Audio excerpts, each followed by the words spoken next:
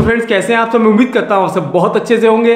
मैं सुमित शर्मा टेक्नोसम चैनल में आप सबका एक बार फिर से स्वागत करता हूँ। दोस्तों, जैसा कि आप देख रहे हो, मेरे पास है ये बॉक्स इसके अंदर है कैनन का कैमकॉर्डर इसका मॉडल नंबर है बिक्सिया H F R eight zero zero आज के वीडियो में हम इसकी अनबॉक्सिंग करेंगे रिव्यू करेंगे, इसे यूज़ करके भी देखेंगे। साथ ही साथ हम ये भी बात करने वाले हैं कि हमें अपने यूट्यूब वीडियोज़ के लिए डीएसएलआर कैमरा परचेज करना चाहिए या फिर कैमकॉर्डर परचेज करना चाहिए। तो आइए वीडियो शुरू करते हैं और सबसे पहले करते हैं इसे ओपन और देखते हैं कैसा है कैनन का ये कैमकॉर्डर तो कैनन का ये कैमकॉर्डर इस तरह की पैकिंग में आता है। यहाँ पर आप कैनन की ब्रांडिंग देख सकते हो। यहाँ पर प्रोडक्ट की इमेज दी गई है और इस साइड आप देख रहे हो एम पी फोर थर्टी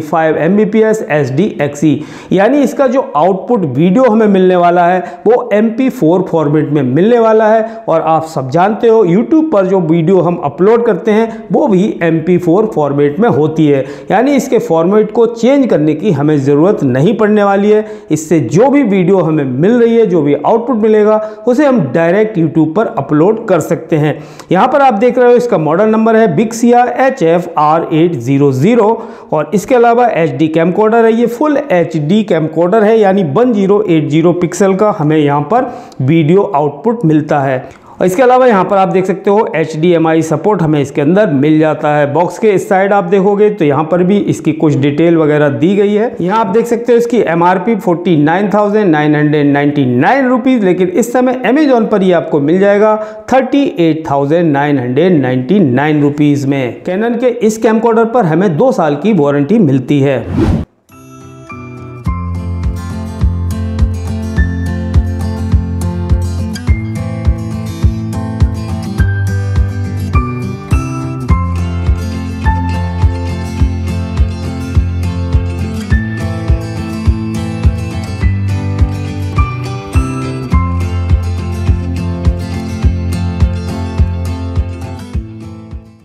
और ये है इसकी यूज़र गाइड इसके अंदर आपको इसके बारे में सारी डिटेल दी गई है क्या क्या इसके फीचर्स हैं फ़ंक्शंस हैं, कैसे हमें इसे यूज़ करना है और इसके साथ हमें एक वारंटी कार्ड भी मिल जाता है। तो इस बॉक्स के अंदर हमें कुछ केबल्स और एसेसरीज दी गई हैं, जैसे कि आप देख सकते हो, ये एक यूएसबी केबल है। इस साइड हमें नॉर्मल यूएसबी कनेक्टर दिया गया है और दूसरी साइड में इस टाइप का कनेक्टर यहाँ दिया गया है। और इसके अलावा यहाँ पर हमें एक एचडीएमआई केबल भी दी गई है, जिसकी लंबाई है लगभग एक मीटर। इसके एक साइड में आपको मिनी एचडीएमआई कनेक्टर दिया गया है और दूसरी साइड में नॉर्मल एचडीएमआई कनेक्टर दिया गया है।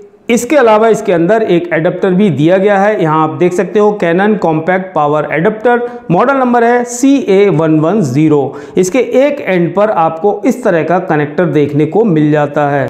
यहाँ पर आप इसकी सारी डिटेल देख सकते हो। आउटपुट 5.3 वोल्ट 1.5 एम्पियर यहाँ पर Canon C A one one zero इसका मॉडल नंबर दिया गया है। यहाँ पर इसका जो प्लग है, आप देख सकते हो, जब हम इसको इस तरह से मोड़ेंगे तो इसका जो प्लग है, वो इंडियन प्लग नहीं है और ना ही इसके साथ कोई एडाप्टर दिया गया है, जिससे हम अपने इंडियन सॉकेट में इसे कनेक्ट कर पाएँ। तो इसके लिए आपको अलग से एक एडाप्टर परचेज करना पड़ेगा। इसके अलावा यहाँ पर हमें इसकी बैटरी देखने को मिलती है। यह है कैनन की बैटरी जो कि हमारे कैमकॉर्डर में लगने वाली है। दूसरी साइड आप देखोगे तो यहाँ पर इसकी सारी डिटेल आप पढ़ सकते हो। ये बैटरी का मॉडल नंबर वगैरह सारा कुछ यहाँ पर आप देख सकते हो। तो आप देख सकते हो, ये है कैनन का कैमकॉर्डर और बहुत ही लाइट वेट है कॉम्पैक्ट साइज़ है मेरी हथेली में, आराम से ये आ रहा है। आप इजीली इसे कहीं भी कैरी कर सकते हो, लेके जा सकते हो और कहीं पर भी आप अपना वीडियो शूट कर सकते हो।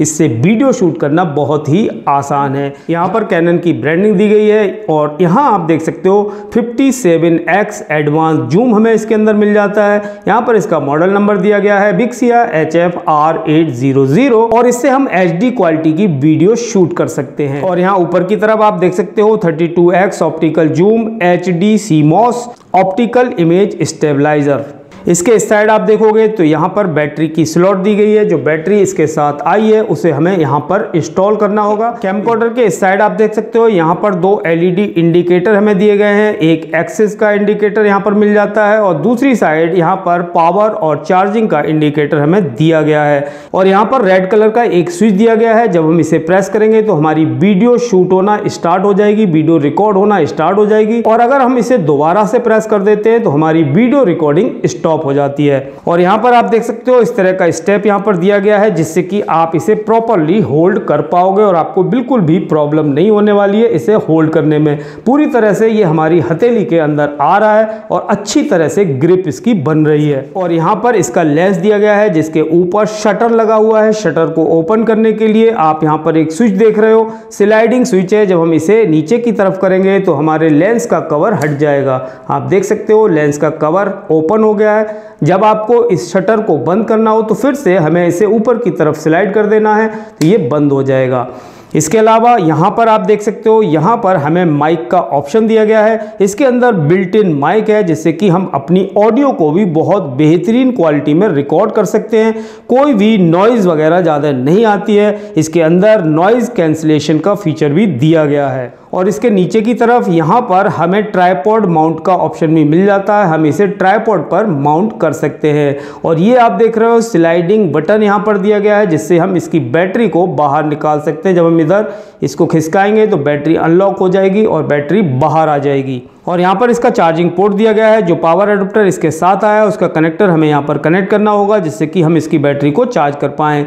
बैटरी को इस तरह से रखना है, ऊपर की तरफ़ स्लाइड कर देना है। तो हमारी बैटरी यहाँ पर लॉक हो चुकी है और यहाँ पर आप देख सकते हो इसकी स्क्रीन। पहली बार जब हम इसे यूज़ करते हैं तो यहाँ पर हमें अपनी लैंग्वेज वगैरह सेलेक्ट कर लेनी है। हम इंग्लिश पर क्लिक कर देते हैं और उसके बाद नेक्स्ट पर क्लिक कर दीजिए। डेट फॉर्मेट सिलेक्ट करना है हम यही रहने देते हैं। उसके बाद आपको डेट सिलेक्ट कर लेनी है। जो भी डेट हमें सिलेक्ट करनी होगी हम यहाँ से कर लेंगे। थ्री इंच की टच स्क्रीन दी गई है जो कि काफ़ी बढ़िया से काम करती है। इसका जो टच है वो काफ़ी सेंसिटिव है और ये अच्छे से काम करती है। तो इसे ऑन करना बहुत ही आसान है। जब भी आप इसकी स्क्रीन को ऑन करोगे तो ये अपने आप ही ऑन हो जाएगा। और आप चाहो तो जो ऑन ऑफ़ का बटन है इससे भी आप इसे ऑन ऑफ़ कर सकते हो। और इसके अलावा ये जो बटन दिया गया है इससे आप अपनी रिकॉर्डिंग को प्ले करके देख सकते हो। और ये है हमारा एसडी कार्ड स्लॉट इसके अंदर हम एसडी कार्ड लगा सकते हैं और कार्ड लगाने के बाद आप इसको बंद कर सकते हो।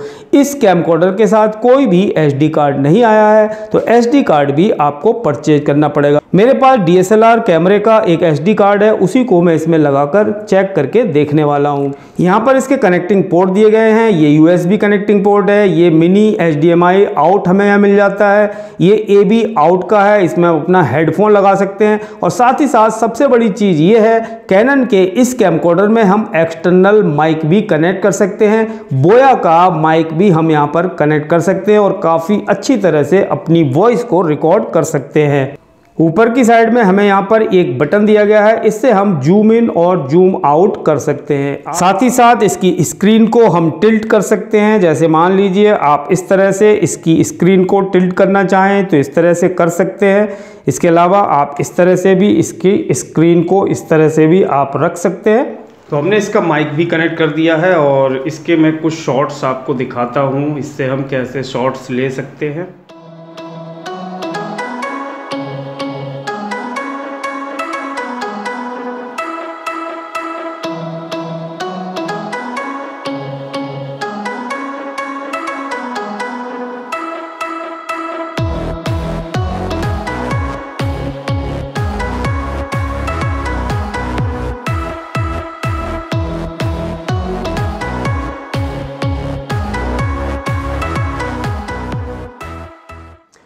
दोस्तों कैनन का ये कैमकॉर्डर कमाल का कैमकॉर्डर है, बहुत ही ज़बरदस्त है क्वालिटी भी बहुत ही बेहतरीन लग रही है। इसके अलावा अगर आप कंपेयर करोगे इसे डीएसएलआर कैमरे से तो भैया डीएसएलआर कैमरे की जो क्वालिटी होती है, वो काफ़ी ज़बरदस्त होती है। लेकिन आप एक बात का ध्यान रखो डीएसएलआर कैमरा होता है फ़ोटो इमेज लेने के लिए, यानी फ़ोटो शूट करने के लिए होता है। वो बेसिकली वीडियो शूट करने के लिए नहीं बना होता है। लेकिन कैमकॉर्डर स्पेशली वीडियो बनाने के लिए वीडियो शूट करने के लिए बनाए जाते हैं, डिज़ाइन किए जाते हैं। इसलिए इससे वीडियो शूट करना बहुत ही आसान होता है और काफ़ी आसानी से हम इसे यूज़ कर सकते हैं। इसके अंदर कोई भी आपको फोकस, जूम आईएसओ वगैरह सेट करने की कोई भी ज़रूरत नहीं है। जबकि डीएसएलआर कैमरा यूज़ करना पहले तो आपको सीखना पड़ेगा। बहुत सारी चीज़ें आपको इसमें सेट करनी पड़ती हैं डीएसएलआर में। इसके अलावा अगर मान लीजिए आपको एक डेढ़ घंटे की कोई वीडियो शूट करनी है तो डीएसएलआर कैमरे की बैटरी बैटरी इतनी देर नहीं चल सकती, जबकि कैमकॉर्डर के साथ ऐसा बिल्कुल भी नहीं है। कैमकॉर्डर में आप डायरेक्ट इसके एडेप्टर की केबल को कनेक्ट करके पावर को कनेक्ट करके भी यूज़ कर सकते हो।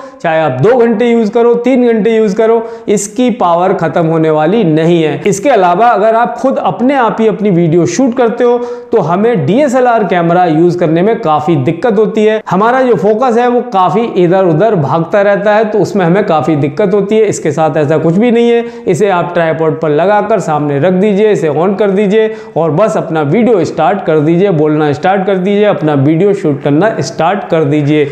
इसके अलावा बहुत ही कॉम्पैक्ट है मान लीजिए आपका कोई ब्लॉग चैनल है, आप बाहर घूम रहे हो और वहाँ पर आपको लगा कि यार यहाँ पर हमें वीडियो शूट करनी चाहिए तो आप तुरंत अपना कैमकॉर्डर निकाल के वहाँ पर वीडियो शूट कर सकते हो। जबकि डीएसएलआर के साथ ऐसा नहीं है। डीएसएलआर काफ़ी हैवी होता है, उसके साथ आपको बैटरी पैक भी लेके जाना पड़ेगा। ये बहुत ही लाइट वेट है कॉम्पैक्ट है। आप अपने बैग या पर्स के अंदर इसे आराम से डालकर ले जा सकते हो, कोई टेंशन लेने की ज़रूरत नहीं है। तो कैमकोडर से वीडियो शूट करना बहुत ही आसान होता है। और अगर मैं बात करूँ कि आपको कैमकॉर्डर परचेज करना चाहिए डीएसएलआर परचेज करना चाहिए कौन सा परचेज करना चाहिए? अगर आप अपने YouTube चैनल के लिए वीडियो शूट करना चाहते हैं तो सीधी सी बात यह है, भैया डीएसएलआर भी मत खरीदो कैमकोडर भी मत खरीदो। आप अपने स्मार्टफ़ोन से ही वीडियो शूट करो और YouTube पर अपलोड करो, वो ज़्यादा बढ़िया रहेगा। स्मार्टफ़ोन से भी बहुत अच्छी वीडियो शूट हो जाती है। क्योंकि अगर हम डीएसएलआर की बात करें या फिर कैमकोडर की बात करें तो दोनों पर ही लगभग चालीस हज़ार, पचास हज़ार रुपए का खर्चा आता है। तो दोस्तों, अगर आप भी कैनन के इस कैमकोडर को परचेज करना चाहते हैं तो इसका बाइलिंग मैं नीचे डिस्क्रिप्शन में दे रखा है। वहाँ से जाकर आप इसे परचेज कर सकते हैं। आज के लिए इतना ही दोस्तों, मिलते हैं अपने नेक्स्ट वीडियो में। तब तक के लिए जय हिंद, वंदे मातरम।